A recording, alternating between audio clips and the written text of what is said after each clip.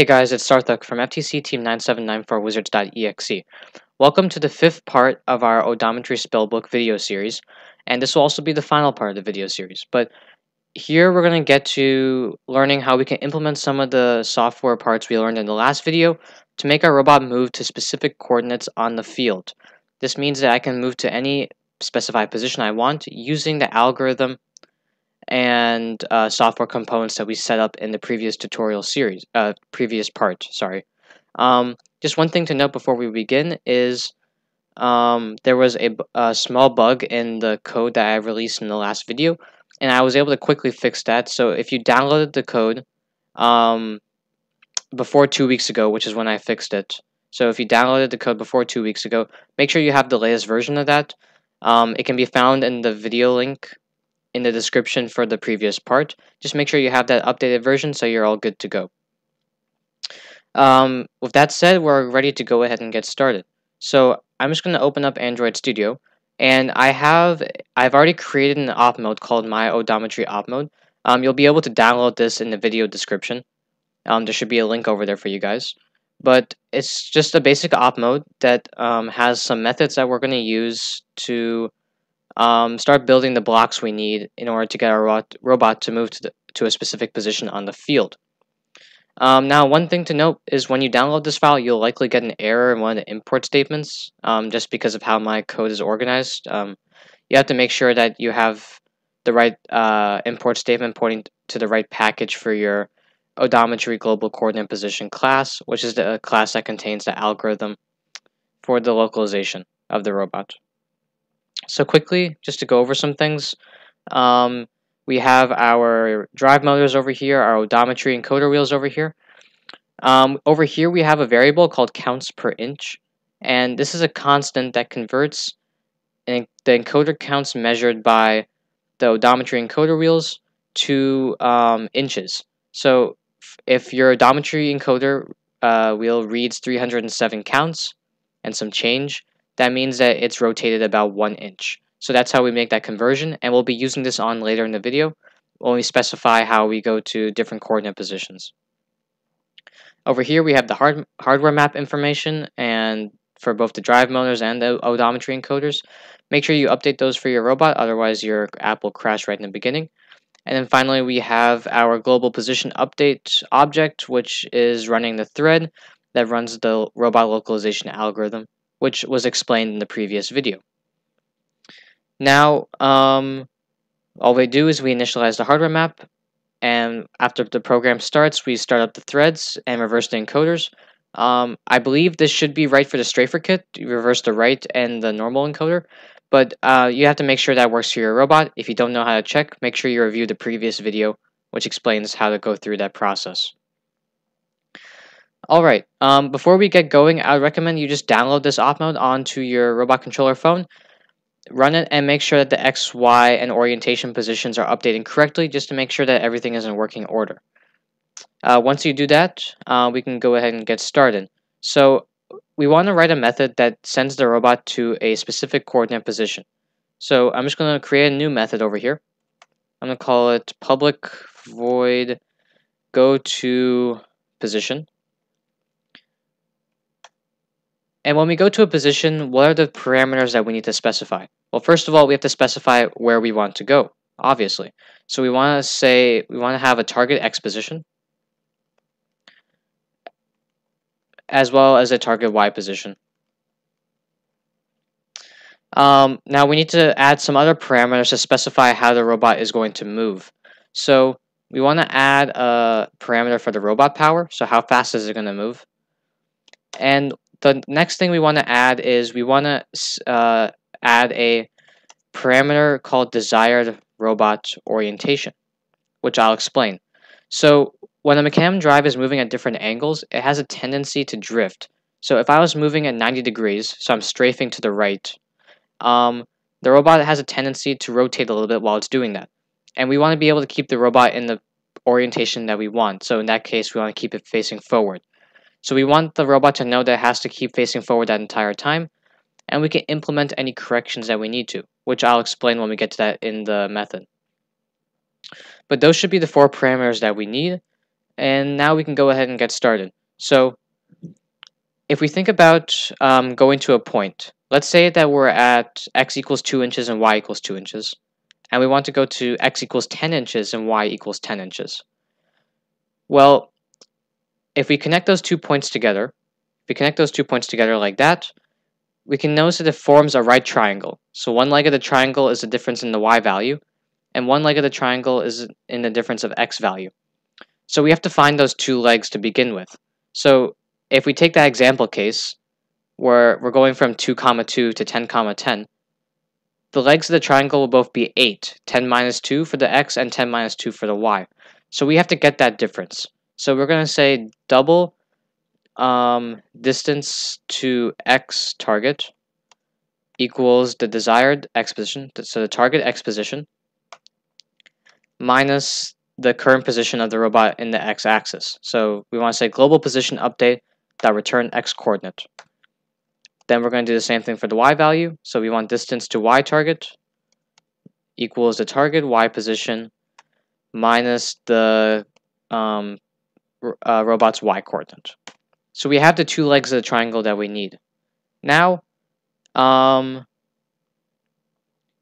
what we have to do is we have to be able to calculate the um, we have to be able to calculate the angle that the robot wants to move at. So say we're going from 0, 0 to 24, 24. Well, I know that's a diagonal line just in my head, but what angle is that? Since we have a right triangle, um, with those two legs that we just talked about, we can use the arctangent function um, to figure out what angle we have to move at since we know those two legs of the triangle. So what I'm going to do is I'm going to create a variable called double robot movement angle.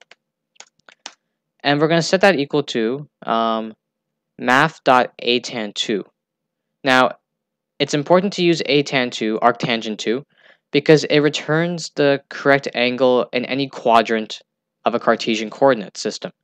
So if you just use the regular atan function, arctangent has a restricted domain, um, meaning that it it's only going to um, give you values in, I believe, the first and the fourth quadrant. So the first and the fourth quadrant. But our robot could also be needing to move in the second or third quadrants. Well, atan2 um, takes that, that into account and returns the correct coordinate. Now we have to put in our two variables here. Um, normally you would do y over x, but since I want uh, 0 degrees to be pointing forwards, straight forwards, not um, sideways like it would in a unit circle, I want x to go first. So I want to say distance to x target, comma, distance to y target. Um, now, one thing to note is that this is going to return an angle in radians, so I just want to convert that to degrees. So I'm just going to say math.2 degrees and put parentheses around the atan2 function. So that's how we get our robot movement angle. Now, um, to get your robot to move in a specific angle, we have to consider the different components of the motion. So we want to get the x component of the motion, the y and the y component of the motion. Since um, each since moving at any angle has both an, a horizontal and a vertical component. So to get those components, I've included two methods at the bottom of this class. The first one calculates the x, which is just a sine of the angle um, times, uh, times the power of the robot that we want to go at. The y component is the same thing except it uses cosine. Now you might be wondering why we're using sine when we're calculating the horizontal and cosine when we're calculating the vertical. Well, this is for the same reason that I want 0 degrees to be pointing forwards and not to the right like a unit circle. So you have to flip these. Um, technically, it's the same as saying math.cosine of um, pi over 2 radians minus um, what we have in there. But what I'm just going to do is I'm just going to leave it as sine since it's the same trig identity. Alright, so why don't we go ahead and calculate those components. So I'm just going to um, say double um, robot movement x component equals the cal equals calculate x. Then we pass in our robot movement angle, and we pass in the desired robot power. So I got robot power. Want to do the same thing for the y. So we want robot movement y component. And we're going to say calculate y and pass in the two same parameters. Alright, so we have those two things in place. Now, a couple things that we have to add to our method before we're all set. So, we still haven't used this desired robot orientation, which I explained. So, what we have to do is we have to figure out, if necessary, how much we have to correct our robot to maintain that desired orientation. So, what corrections do we have to make? Well, this is actually pretty simple. So, what we want to do is we want to say double pivot correction so how much does the robot have to pivot to maintain that orientation that we want to? Then we want to say desired robot orientation minus the current orientation of the robot. So we want global position update dot return orientation. Now you just want to make sure that it's returning this in degrees just so we have our all of our units set properly. And it looks like that's the case, so we should be good to go. Now we have we have the three components that we need to do the robot motion. Now, the last thing that we have to do is we have to add a condition to this. So when are we moving? So how how how when should we stop moving? Or when should we stop calculating all these values? So I'm going to add a while loop in here. So while op mode is active, we'll add some more conditions to it, but just for now, I'm going to put all of this inside that while loop. And we have it over there. So we want to keep moving until we reach our desired position. Um, so what I'm, I'm going to do is we want to keep going until, let's say we're about one inch away from our position. Just because the robot has to stop and it's going to drift a little bit. So let's say we're going to move one inch. we're going to move to our position plus or minus one inch. So there's like a one inch circle around our desired point that we want to go to. So the first thing that we're going to have to do is we're going to have to calculate our distance away from the target. So we want to say double distance, and we can use the math.hypotenuse function, and we just have to pass in, oh, whoops.